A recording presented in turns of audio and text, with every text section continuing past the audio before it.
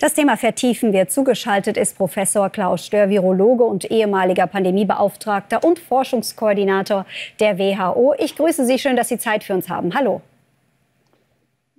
Hallo, Frau Knäble. Guten Morgen. Also, welche gesicherten Erkenntnisse haben Sie denn über die neue Virusvariante Omikron? Ja, so viel Gesichertes gibt es noch nicht, aber die Hinweise, die sich jetzt verdichten, äh, würden darauf deuten lassen, dass tatsächlich die Impfstoffe auf den neuesten Stand gebracht werden müssen. Daran arbeiten ja schon die Impfstoffhersteller und auch die Zulassungsbehörden. Dieser auf den neuesten Stand gebrachte Impfstoff wird jedoch nicht in signifikanten Mengen vor dem März, April nächsten Jahres zur Verfügung stehen. Das Gute ist, dass die Immunabwehr ja nicht nur allein aus diesen Antikörpern besteht, sondern da gibt es ja noch zwei weitere Bollwerke, die, die den Eindringen und die krankmachende Wirkung des Erregers abschwächen können. Und die funktionieren auch bei den gegenwärtigen Impfstoffen mit sehr hoher Wahrscheinlichkeit auch gegen Omikron. Also die Boosterimpfung, die wir ja im letzten Juni, Juli schon angemahnt hatten, äh, die jetzt ganz wichtig war, auch vor Omikron für die über 60-Jährigen, äh, daran hat sich nichts geändert. Und das wird sicherlich auch helfen, falls die Omikron-Variante dann im Dezember, Januar, Februar einen größeren Anteil an den Infektionen ausmachen wird. Also Sie sagen, das Boostern jetzt bringt schon was gegen Omikron, aber noch besser wäre es dann im April. Äh, nein, äh, Boostern jetzt ist der Ansatz. Äh, Im April, Mai nochmal sich eine Impfung zu holen, ist äh, nicht notwendig, äh, weil die meisten, auch die über 60-Jährigen, mit einer Boosterimpfung jetzt sehr gut durch den Winter kommen werden. Sie werden sehr hohe Antikörpertiter haben. Sie werden auch da die zweiten und dritten Bollwerke der Immunität des Immunschutzes nochmal äh, aktivieren. Äh, und das reicht dann sehr gut sicherlich für die aller, allermeisten in das Frühjahr hinein. Und im März, April, falls dann ein äh, neues, äh, neuer Impfstoff, also ein abgedateter Impfstoff zur Verfügung steht, dann ist er nicht mehr notwendig, in diesem Jahr äh, den zu nehmen. Und es wird auch keine signifikanten Mengen an Impfstoff geben. Also wir müssen uns darauf einstellen, genau das zu tun, was eigentlich im Sommer schon klar war. Boostern der über 60-Jährigen hilft gegen alle Virusvarianten, egal was jetzt noch kommt und was schon zirkuliert. Äh, die über 60-Jährigen profitieren hier am allermeisten. Auch jüngere Jahrgänge können sicherlich davon äh, einen Nutzen äh, herausziehen. Und dann natürlich die Erstimpfung. Das sind die Personen, die natürlich am, stärk, am stärksten betroffen sind, auch wenn Omikron jetzt kommt. Und die Kontaktbeschränkung in den ähm, Hotspot-Regionen, das ist und bleibt auch der, dass wir die, die Grundpfeiler der weiteren äh, Pandemieeindämmung in diesem Winter, egal ob Omikron kommt äh, oder nicht. Ja, die Inzidenzen nehmen ja derzeit zumindest nicht mehr zu. Ist der Scheitelpunkt der vierten Welle damit erreicht oder wie interpretieren Sie die aktuelle Infektionslage?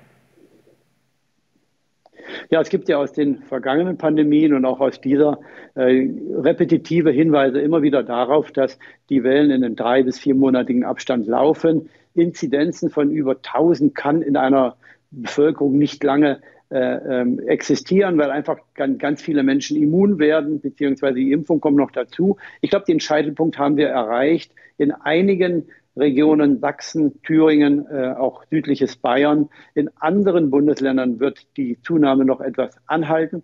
Aber ich glaube nicht, dass das Geschehen dann sehr stark zusammenbrechen wird, sondern auf einem hohen Niveau weiterlaufen wird. Aber das wird entscheidend davon abhängen, wie viele Menschen sich jetzt boostern lassen. Also ob wir ein relativ entspanntes oder ähm, angenehmes äh, Winter, Neujahr haben werden, wird eminent davon abhängen, wie viele Menschen sich jetzt impfen lassen äh, und egal, ob die Omikron-Variante kommt oder nicht.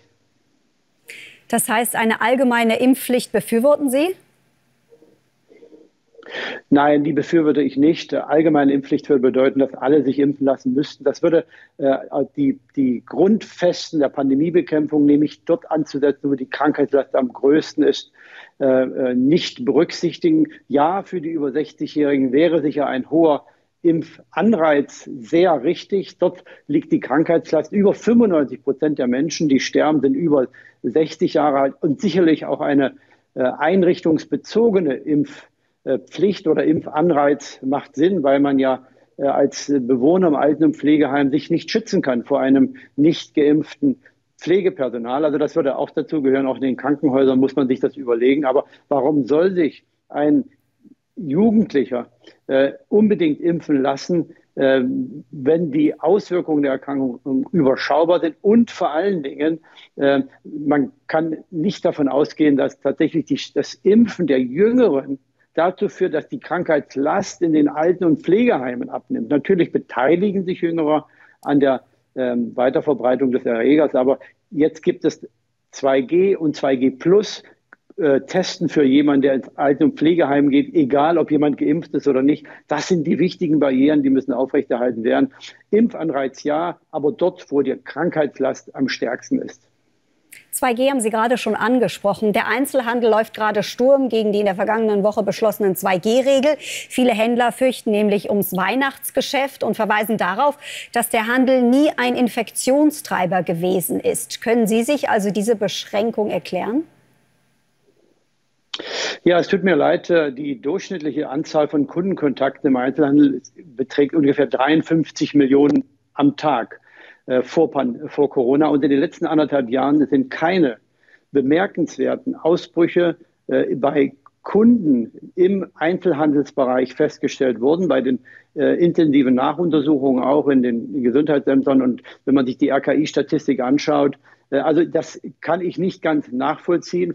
Die Hygienekonzepte, die im Einzelhandel umgesetzt wurden, äh, müssen ja wohl funktionieren, wenn dort äh, im Prinzip nichts herausragendes an Infektionsquellen gefunden wurde in den letzten anderthalb Jahren. Ich glaube, hier sollte man wirklich evidenzbasiert arbeiten und vielleicht auch mit dem Blick zum, einen Balancepunkt zu finden zwischen den gesundheitlichen Auswirkungen, die man begrenzen muss, aber auch den sozialen und den wirtschaftlichen Folgen, die diese Maßnahmen haben. Sagt Professor Klaus Stör. Besten Dank für das Gespräch. Ihnen noch einen schönen Tag. Dito.